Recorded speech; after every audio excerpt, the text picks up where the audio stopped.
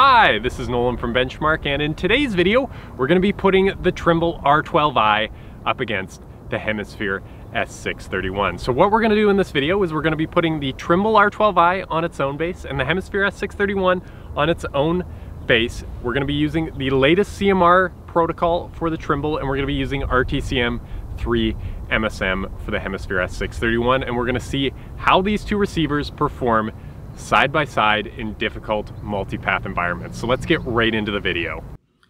What we did in our first test is we took the receivers under a pair of smaller pine trees. The trees weren't too heavily canopied and it shouldn't have been any issue for either of these receivers. And you can see here, both receivers are fixing relatively quick with the Trimble coming in first at about 6.2 seconds, followed by the Hemisphere at 11.5. Again, nothing too difficult. The buildings aren't too close. The trees aren't too big. This is a relatively easy test for these two receivers.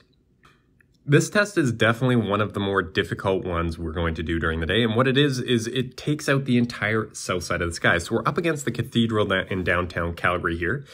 And by going right up against the building here with the south sky obstructed, we're actually taking out the majority of our satellites. So this is a great test for seeing how these receivers perform with a lower satellite count, a less than optimal satellite geometry. And what you're gonna see here is with both receivers side by side in at the same time, so they're going to be seeing the same conditions, we're actually going to have the hemisphere fix well ahead of the Trimble here.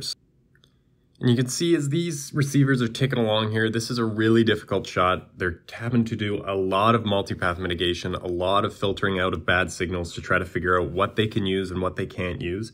And you're gonna see just before the one minute mark, the hemisphere gets a fixed solution right up against the building here. At 56.7 seconds, we've got a fixed solution. And you can see here, we have got a good fix. And if we go over to the Trimble here, we're still floating. We're still waiting for a fix. We're sitting at 30 cents right now, which not ideal. And we're gonna sit here, we'll wait a bit longer, see if that Trimble can fix. Uh, and as we sit here, the Trimble just never could get a fix while we were sitting here. Um, so the hemisphere, it's showing its worth on those lower satellite count environments. And you can see as we're sitting here waiting for that Trimble to fix, it just never gets that fixed solution. Over a minute and a half after the hemisphere fixed, we just didn't get anything from the Trimble, so we decided to move on. Okay, for our next tree shot, what we did is we found a cluster of four or five big, tall pine trees here, and we threw the receivers down in the middle of them. So this should be another good test on that multipath technology. You can see the Trimble, again, super quick in these tree environments, 5.8 seconds.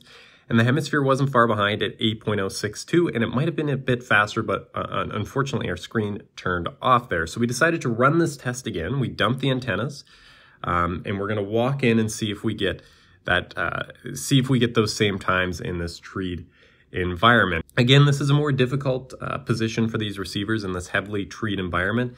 Again, you can see there's a lot of snow on the ground, so unfortunately we can test this under any leafy trees at the moment. But what you're gonna see is as we put the receivers into the stand and flip them over and let them compute their position again, the hemisphere is actually going to win out this time, and it's not going to win out by a couple of seconds like the Trimble did. It's going to win out by about 15 seconds. So you're going to see here, hemisphere fixes in about 15 seconds, and the Trimble, we're going to have to wait a full 30 seconds for the fixed solution. So you're going to see 16.1 seconds for the hemisphere. And again, you're going to see RTK fix there on the hemisphere. And if we go over to the Trimble, we're still waiting on the fixed solution. And at 38.3 seconds, we get the fix on the Trimble. So again, both receivers able to get that fix in that difficult multipath environment, but the Trimble is starting to fall behind and in several of these categories.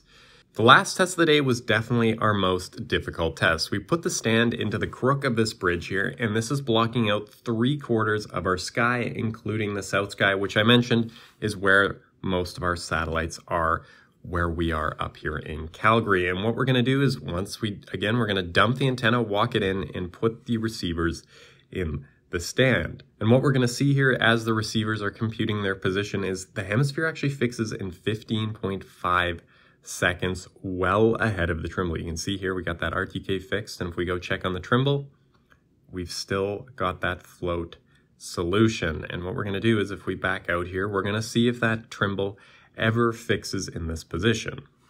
And at a minute and 15 here, you can see Hemisphere is still holding that fixed position and the Trimble was not fixed. And the residuals were not getting any better, so we decided to give up on this test. But before we went away, we decided to run one last test where we actually switch positions because it appears the Trimble's a bit closer to the bridge, so it should be in a bit more of a difficult position. So we're gonna switch them on the stand and see if that makes any kind of difference on the performance. And what we're gonna see Trimble's up, Hemisphere's up. They're both in the stand, and we'll see if either of them can fix with the Hemisphere in the more difficult position now.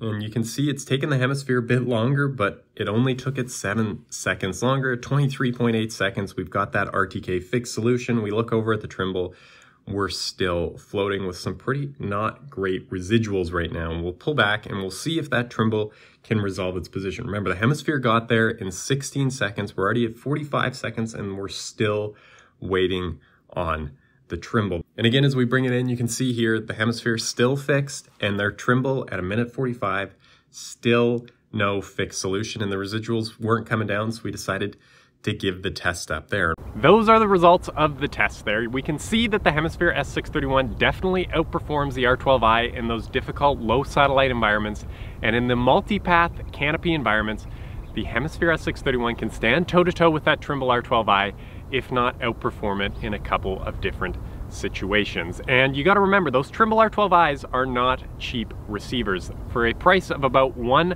Trimble R12i, you can get three to four Hemisphere S631 receivers. So when you're looking at buying your next RTK receiver, maybe take a moment and get a price on that Hemisphere S631, whether it is from us or someone else.